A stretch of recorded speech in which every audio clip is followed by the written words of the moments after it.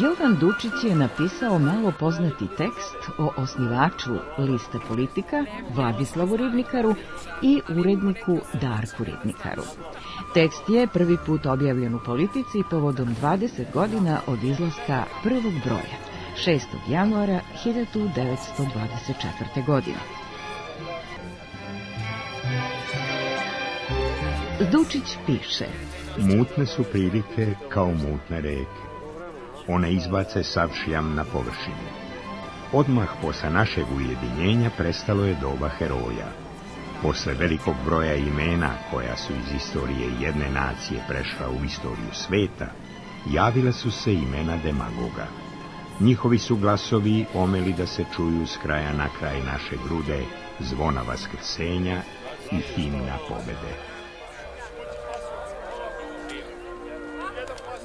Tek što su se savile trobojne zastave, razvili su se programi za cepanje i memorandumi strancima za pomoć protiv oslobođenja.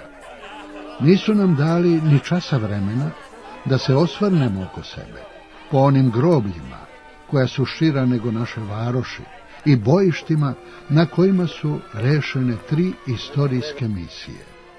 Videh jednog dana kako preko terazija prolaze kroz gomilu dve vojvode, koje će sutra na tom istom mestu stajati saliveni u bronzu, pokazujući mačem bregalnicu ili kolubaru.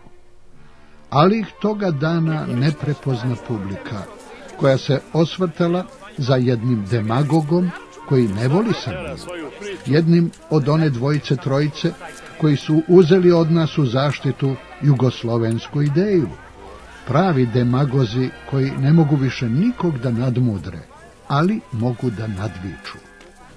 Nastala su druga vremena i druga viteštva, jer ima dve hrabrosti. Jedni su hrabri jer se ničega ne boje, a drugi su hrabri jer se ničeg ne stide. Ova Jugoslavija se rodila u kacigi Srbije.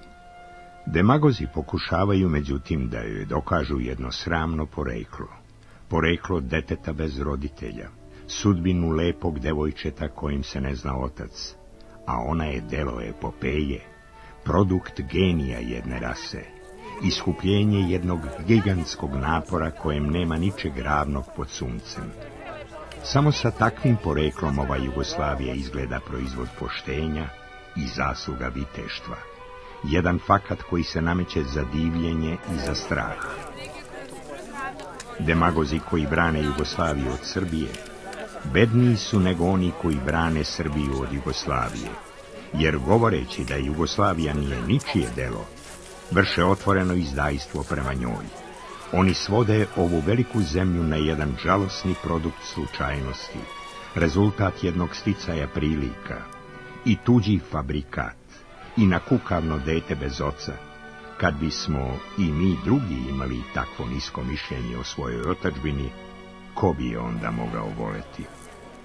Kad bi naši sinovi, piše dalje Jovan Dučić, verovali da Jugoslavija nije kupljena skupom krvlju njihovih oceva na Kumanovu, Bregalnici, Kolubari i Crnoj reci, nego da je postala samo sticajem opštih prilika i političkim slučajem, zar bi oni pošli da do zadnje kapi krvi brane jednu tako žalosnu tekovinu i jedno kockarsko delo. Dva brata ribnikara poginuli su na granici Bosne kao oficiri Srbije, jedan za drugim u dva dana.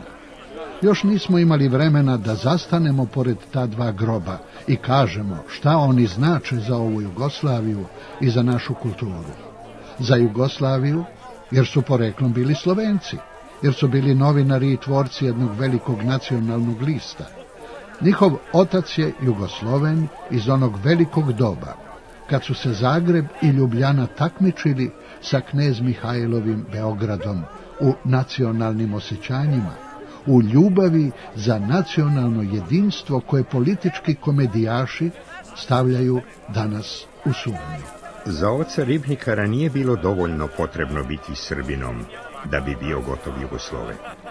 Trebalo je biti Srbijanac, odmetnik protiv tuđe tiranije, buntovnik protiv propalih naravi i neprijateljske kulture Beča i Pešte, ustaš protiv dinastije i birokracije koja drži u zatočenju čitave narode, borac za nacionalnu državu i sobstvenu kulturu, fanatik u veri da je genije našeg naroda budući genije Evropskog istoka, demokrat koji svoj smisao slobodi vuče iz svoje sjajne povesti i svoje nevine crkve. Napisao je Jovan Dučić u malo poznatom tekstu o braći Vladislavu i Darku Ribnikaru.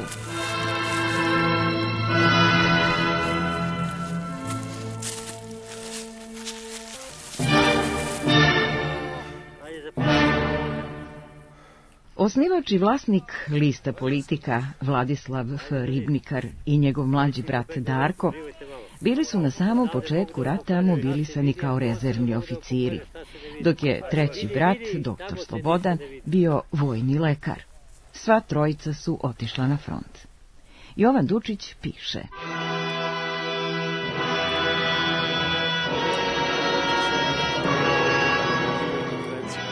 Dva brata ribnikara prolili su svoju krv kao oficiri za istu stvar, za koju su prolili svoj znoj kao novinari.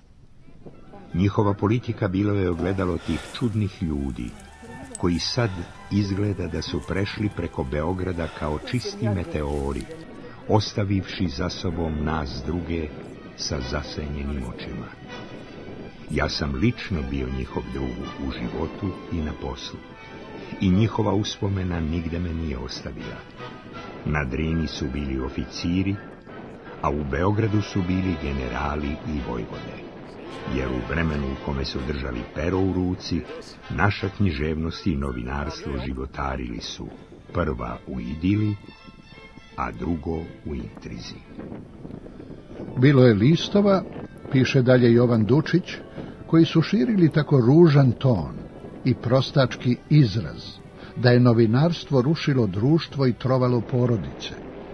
Ono je udarilo na čast prvih ljudi i najboljih građana. Svojim odvratnim rečenicama otrovalo je bilo vazduh u skupštini i postalo jezik sina sa ocem. Sve je bilo moguće reći bez konsekvencija i najzad se primiti bez gnušanja. Zbog naše štampe, u jedno doba život je u našoj zemlji postao uzak i gorak.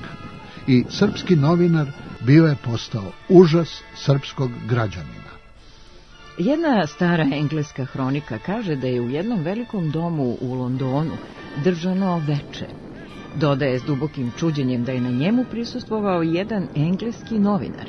Zatim kaže, što je najstrašnije, prisustvovala je i njegova žena. Tada su prvi ljudi u našem žurnalizmu posvednevno bacali jedan drugom u lice pograde i sumnjičena, koja su bila nedostojna i posljednje građanina. Niko nije bio siguran za svoje ime. I bilo je ljudi koji su platili životom te vedete bezimenih maskiranih neprijatelja.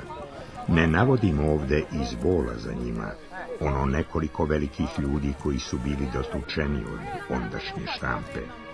Politika je došla u to doba. Zapisao je Jovan Dučić. Politika je najstariji i najuticajniji dnevni list u ovom delu Evrope. Prvi put se pojavila na Beogradskim ulicama 25. januara 1904. godine oko 14 časova.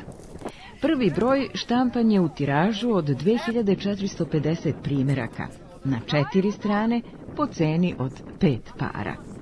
Već u februaru 1904. godine braća Vladislav i Darko Ribnikar proučavali su finansijske i ostale pokazatelje lista.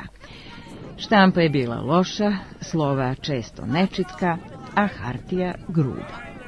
Prvi godina novine su uređivane po kafanama i iznajmljenim stanovima, da bi tek posle Prvog svetskog rata podigli svoju četvorospratnu zgradu u Makedonskoj ulici.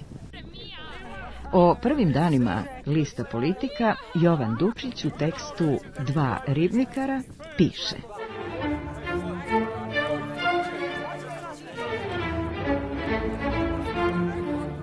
Nju su pokrenuli dvojica novih i dobro školovanih ljudi.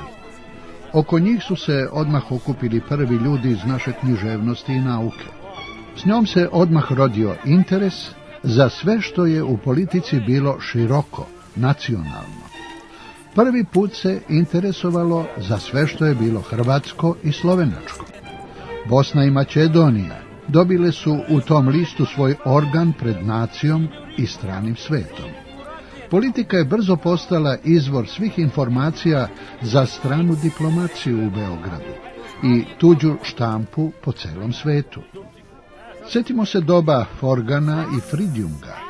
Pešta i Beč su se obarali na politiku najtežim optužbama i upirali prstom na taj list da bi dokazali da Srbija hoće da pravi Jugoslaviju. Politika je bila jedan čitav novi smisao.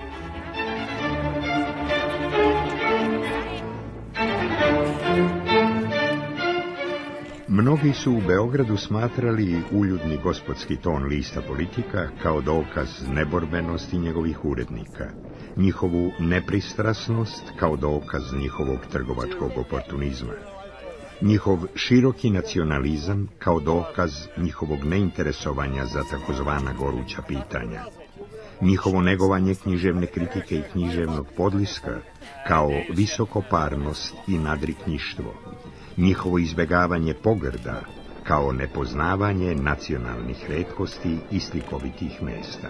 Ali je većina, uvek naša mudra i poštena većina, brzo osjetila šta je politika donela sobom.